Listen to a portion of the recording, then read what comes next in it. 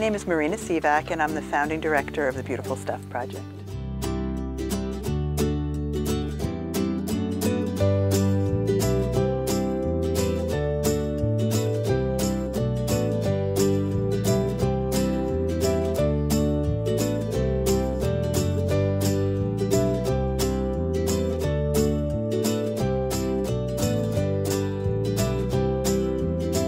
After I left teaching, I started a nonprofit.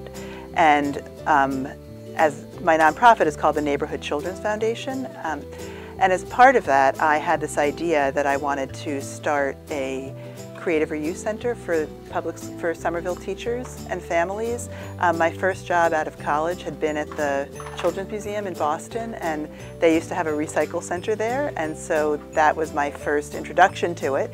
And when I went into classroom, when I became a classroom teacher, I used recycled materials in so many parts of my classroom and I knew how powerful they could be for kids learning and they're also very cheap. um, so I decided to um, just start a small creative reuse center just for Somerville teachers. And I got a spot at the Artisans Asylum in the summer of, I think it was 2015. Um, I got one of their little alcove. I actually bartered with them. Um, I helped them with their educational programs and they gave me a space. And I outreached, I sent hundreds of emails to companies and manufacturers and stores in the Metro Boston area to see if I could get excess and scrap materials from them. Um, and that's how I started. And within two months, we had grown out of our space in the Artisans Asylum and moved to a space on at 137 Broadway in East Somerville. Um, it began completely as a labor of love. I was I started completely as a way to give back to my community. I had no idea it would grow to what we are today. We're called the Creative Reuse Center, so everything here has been donated. It's all excess or scrap, and it comes from all kinds of places. Um, for example, we get a lot of our scrap wood from PSG Framers that's in um, East Somerville. We get a lot of foam from foam from Rogers Foam in Somerville. We get donations from Michaels in Porter Square.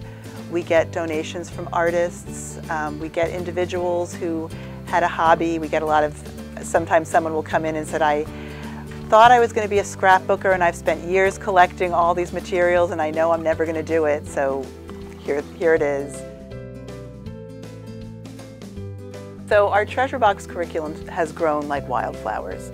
Um, it's like I had start, I just had an idea about five years ago um, that I wanted to be able, because I wanted to be able to bring in materials to classrooms to allow kids to have time to do open-ended play. So I created this idea of these treasure boxes um, because it was a very efficient way to bring materials in for kids to be able to use during the, during the school day. So we make, and they all go with the book, we have classroom sets. So I go into a classroom with a tub that's filled with 24 boxes that look like this. And we have all different kinds of sets of boxes. So this is what we call our classic treasure box set, and it's filled with a variety of loose parts, but it's not random. It's, each box is curated. Knowing what kids naturally do for play, we curate the boxes for success. We are here because the community wants us. I started in one classroom, I didn't know where it was going to go, and we've grown the way we have because of teacher response and teacher ask and kids just loving it. They literally call me the beautiful lady when they see me walking down the hall. I mean, it shows how much kids crave being able to play and classrooms have become, there's a lot expected of kids and teachers during the day in classrooms and so bringing in these treasure boxes is this very efficient, low-cost way to give kids a an opportunity to be able to just play.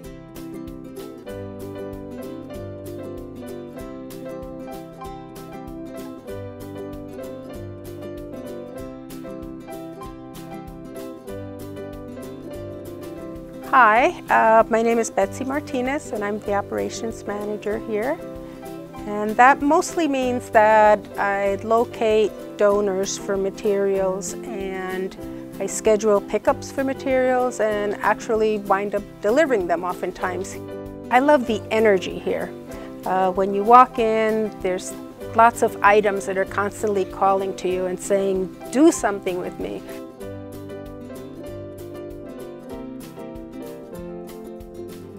My name is Perla Hernandez and I bring the parent-child art-based programs to the school, so I am the facilitator to those workshops. I started doing this about two, almost three years ago because my children wanted to be part of those programs when they were in preschool and kindergarten. So then I just took on and it's been wonderful. I love being with families. Is this is like the the most important part for family engagement. The main purpose of it is to have the parent or the caregiver sitting there with their child, just like a free-ended activity, very, very easy, very quick, but the, the important part is for them to be there, to be creative, to spend some quality time together. And it's been wonderful.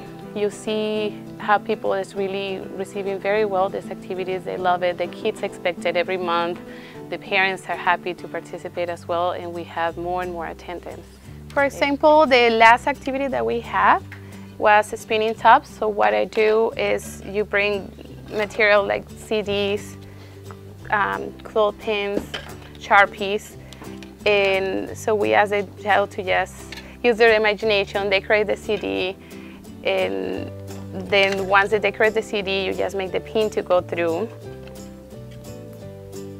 And that's basically what it is. These are quite big.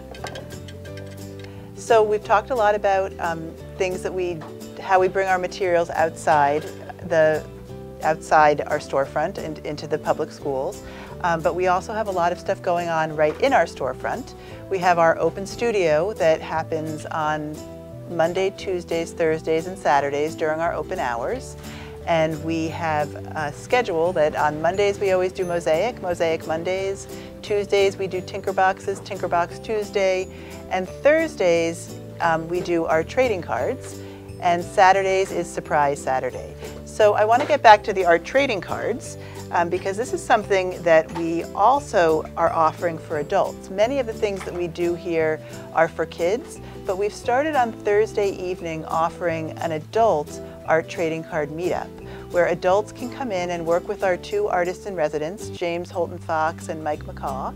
And they can, James and Mike set up a buffet of really interesting art materials. And there are plenty of these art trading cards and you can make whatever you want with your art trading cards. Um, and here are some examples of we do collage, we do crayon melting, um, embossing, all kinds of ways to make mini masterpieces with these cards. So come in on a Thursday evening. We're open. We're here. James and Mike are here 6 to 8. We just ask for a $10 donation and you can create to your heart's content.